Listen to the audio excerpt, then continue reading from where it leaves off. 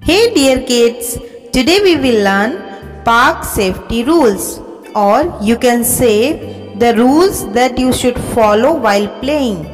So without any further delay, let's start. Do not eat while playing because you have germs in your hands. You should not go barefoot in the park. You should always put on proper footwear.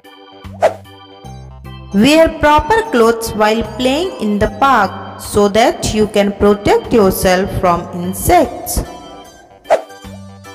Do not stand on swings. You should always swing carefully. While swinging, you should hold on with both hands.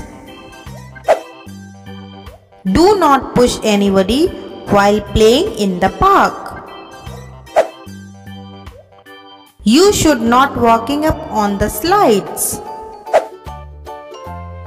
Don't touch equipments that could be harmful for you. Do not chase animals like dogs and cats while playing.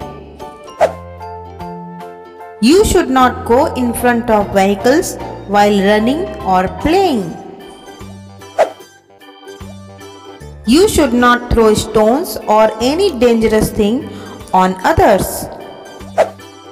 You should not run the prohibited areas of park.